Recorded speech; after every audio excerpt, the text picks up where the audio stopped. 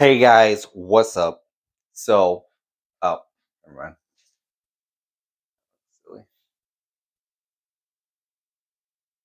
mind. Hey guys, what's up? We have the lineup of if you knew what to get. I mean, I was confused. Obviously, I've only been into this for like six months, right? So we got the Easy Max EZ Pilot Pro. Yes. You know what? Honestly, it's almost as good or just as good as uh, the VR1 by Beta FPV goggle. Like this has higher resolution, but this has better colors. Seriously. Um, but honestly, like um, I guess I'm farsighted or something, right? So I can't see stuff close up, right? Um, because I'm getting old. You know, I used to have perfect vision, but apparently I'm gonna need a pair of reading glasses when I'm older.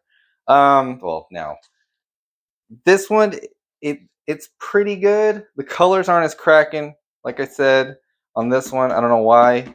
Um, and just looking at it, uh, other than the blurry, I, I I just fly into shit all the time. You know, little things pop in and out. I can't. The resolution's so low. Uh, these are like 50 to 80 dollars depending on where you get them and there's a lot of new drone kits that come out that just throw these just rebranded different colors same exact headset. Um, so if you're new like like i said i spent so the thing i'm trying to get at here is you probably start to budget. You're like okay i need a whole setup so i need to budget my money so i can just get out there and do what i want to do. Um, just between the three goggles and the drone uh, so we got 60, we got like 250. Uh, that's with the drone and everything in the kit here. And then uh, the the Scout was uh, 200 plus tax, right? Um, unless you buy it from uh, uh, Rotor Riot, which if it's the first time you've ever bought something from Rotor Riot, they give you like 10% off. So you get this thing 200 bucks out the door after tax and shipping and everything. Pretty great. Um, so yeah, shout out Rotor Riot. they didn't pay me for anything. Honestly, I want to do a video about buying stuff from Rotor Riot because yeah. Anyways, uh, subscribe. Back to the headsets.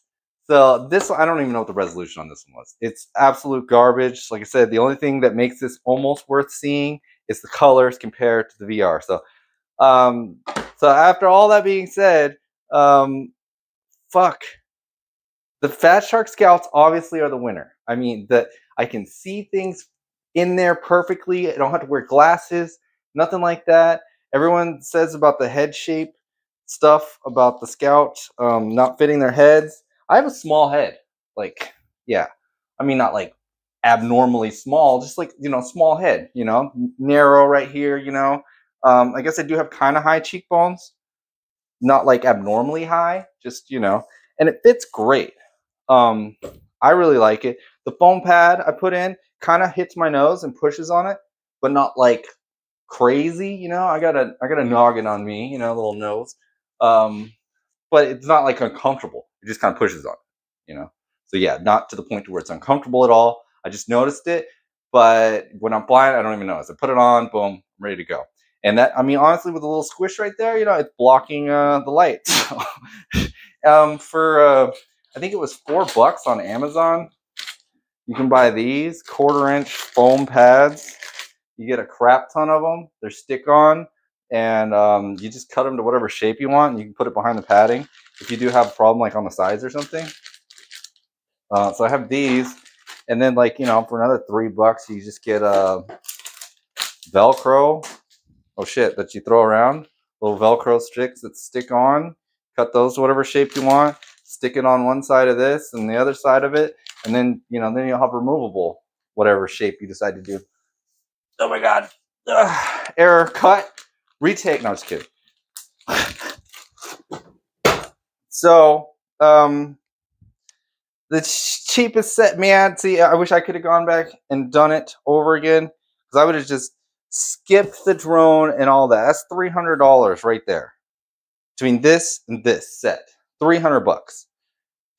So yeah, Fat Shark's 200. And then I would have got the uh, Beta FPV um, what was it? The uh, they have a 65 and a 75 Pro. Probably would have got the 75 Pro because I like flying in my backyard more. And then so that would have been 300 bucks. And then like the Jumper T Lite V2 little hand controller for like 60, 70 bucks. So that would have been 360. So 250, right? No, this was 250, 300 versus $60 more. I could have had a way better setup and avoided like this is fucking almost unusable. Almost unusable. Like you you can fly with it, but blah. This one just a step up above that. Just barely like fucking e-waste almost. Like these two headsets practically almost e-waste, you know? You could fly with them, but they're going to hinder your flight cuz you're going to be flying into stuff. Like like even if you have perfect vision, this is exactly what I'm trying to say. Even if you have perfect vision, 2020, stick them in your head, you see all the pixels clear as a bell, the the render on them just is so the 800 by 400 i think you understand the scan lines you know like you try looking at your phone in 480p right and you look off into the distance what do you see you see a blur any little branch stick whatever like i have this little setup square thing i've painted red i can't see it unless i'm like 10 feet from it in my headset with my drone so and then when you're flying around doing like 25 30 miles an hour like that 10 feet is just like bam i hit it so I had more crashes with these just because I couldn't see stuff. So like you could get these and start flying, but you know, you're going to have to be extra careful because you just can't see that kind of stuff just popping up on you. Versus these, like this was 800 by 480. This is like 11 something by 6 something. So, you know, you get 300 more scan lines on each side widescreen. The colors are beautiful. I can see I can see the little square thing from like 30, 40 feet away in these head in this headset, which is just, you know, so I can just cruise right into it, provided I can drive.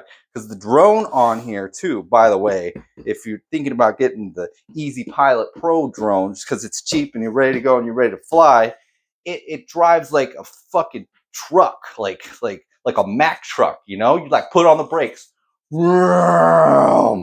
get it going in the air.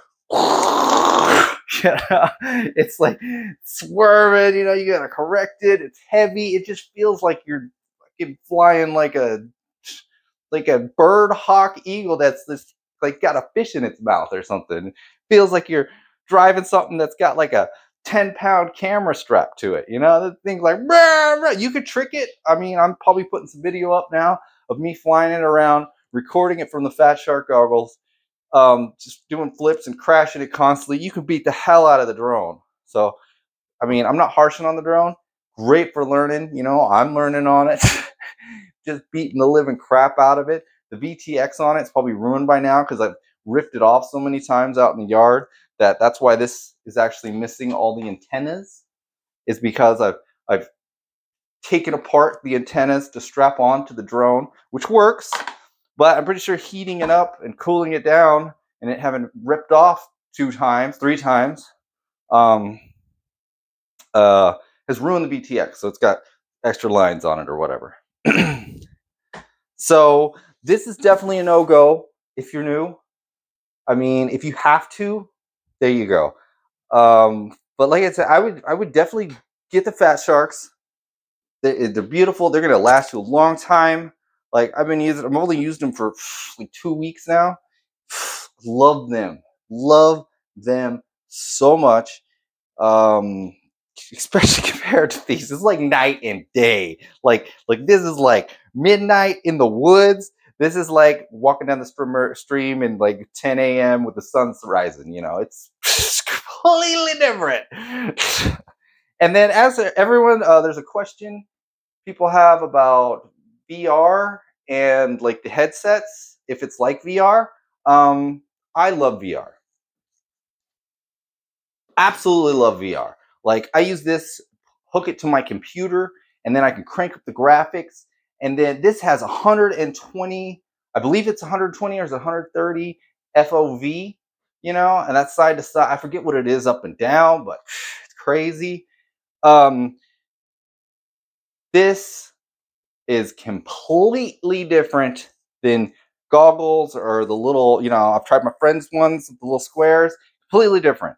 This is like looking at your monitor, but it's tiny and everything looks small. It's like just looking at a tiny little TV.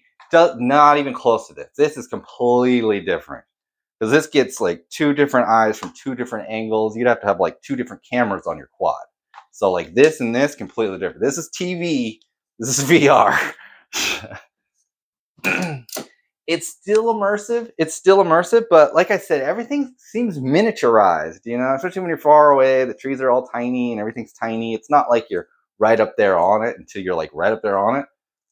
Um, it's not like reality, I guess, you know. I wish the people who make VR would definitely merge over to the FPV sector and help out with that. That would be amazing. but this is what we got for now. So, you know, like, and another thing I like about this, um, because I'm a big VR addict, you know, because like I can get in there, I can drive a plane. I don't know what these guys are talking about, you know, these pro racers. Oh, you just need a tiny little field of view so you can just fly through the little hoop because it's too distracting. It's too, you can move all those little things that they're talking about. I don't need to look over here. You can literally move those under your eyeballs, you know, jump on beta FPV, move that. There you go. Then you have the big immersive screen, but it's distracting. It's like, okay, this is what I'm saying. They're not gamers. All these old people, they're not gamers like us. You know, like I, I play VR. I'm in aircraft. I'm shooting people. I'm racing. I'm doing all that. You do that shit in reality all day long. You look up and down at your drive thing. Well, I don't know what they're talking about. Don't know what they're talking about. Oh my god, I go off on a rant about that. It's like they're not gamers. They don't know. So 50 FOV on this bad boy. Like I want to get something else, but it's like I'm gonna have to get a smaller screen. Like even the top-notch goggles, tiny little baby screen. It's like I feel like I'm gonna be in a hallway. You know, this already feels like a hallway. 50 FOV 120. you know, and that one's like VR surround. This, if you made this one bigger, it's just a big flat screen, you know.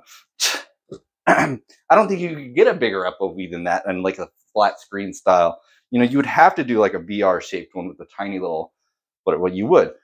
but even those, um, like they cost six hundred dollars. Those cost twice as much as a. This is what I really don't get. I think now they're four hundred dollars, right? And if you hook it to your computer, then you get like two K resolution or three K or some weird shit like that. Um, but four hundred dollars, and then um, like the new small headsets, they they six hundred dollars and they don't even come with a receiver. And like I said, the screens in this are like a thousand times better than anything they put in those. It's, it's a scam, man. It's a scam. Um, but I do it because I love it. So what I would say, definitely get the Fat Sharks. Definitely don't settle. Um, get the Fat Shark Scouts with the 1100 and something, whatever. The colors are cracking. It's got great range. It uses an 18650 that lasts a long time. Uh, it records DVR. It does everything. This one doesn't record DVR. and it looks good and you won't crash into shit constantly because you can't see it. You know, you can fly through branches and stuff. Um, it's great. And then just get a cheap ass drone to get you flying. You get you, you can buy the little tape on drones you know, you get the little $10 camera, the little $30 drone just to get you practicing and wait till next payday. And then boom, get yourself something cool. You know, and I'm getting the Jumper T Lite because I like the controller style. Um, yeah, like the controller that comes in here is great and it's small, so I love it. So I thumb the hell out of it. I don't know, everybody's talking about thumbing and pinching. Man, I'm a thumber for sure. Everyone's like, thumbs are dumb. It's like, man, let's go Fortnite right now. Xbox, baby, let's go. you know, show you thumbs are dumb. All right. Um, so yeah, so and keep it real, you know, like just because everyone says it's good doesn't mean it's right for you. You know, like thumb and pension. What feels good for you? It's like, do you do you play video games? Do you like using a controller? Get the controller kind. You're already good at that. You know, don't start trying something new. I mean, you can if you want, if you think that's going to be more precise or whatever, but I turn my rates up. Like all the beginners, like keep your rates where you're moving the sticks all the way when you're doing stuff. Nah, son. I like my sticks tight, man. Just like, you know, when I do something little, bam, bam, bam, you know? I mean, not super tight. So I've been messing with rates like that. I really hate when I'm moving big movements. It's like, no, I like it precise. Thumbs are dumb, my butt. Like, I play video games, man. It's like, go from a Nintendo Switch all of a sudden to a drone. You're like, man, this thing's got some movement, you know? Aiming a bow with like Zelda, you know, and then you're like, uh, anything else I could say before I just keep ranting? Um, love this hobby. So much fun. I love cruising, man. This little Tinyhawk hauls ass. I've seen guys like, it's kind of slow. This is the fastest. Man, I get this thing going so fast. I'm just like, damn. it's a good drone, you know, like it just handles like a boat in the air. um, yeah. Yeah, even when I turn it up touchy, you know, I guess that helps raising my rates. It does help. Um, right now, I think I got them set too low again, you know, so I don't know. So I'm still messing with that. I have a new drone coming. Hopefully, it's way better. Um, and, uh, and then I will do another review on this separately because of everyone's worried about the camera in it because this is 16 by 9, uh, which I love.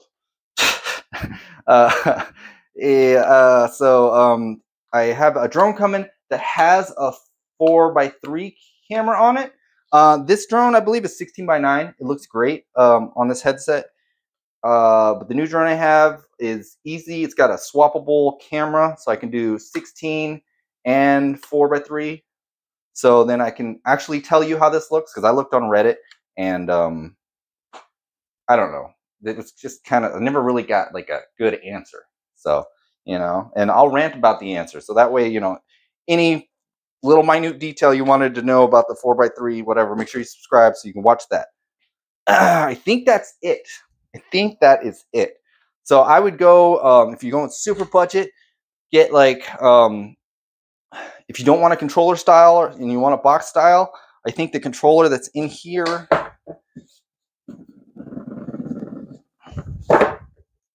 is pretty cheap.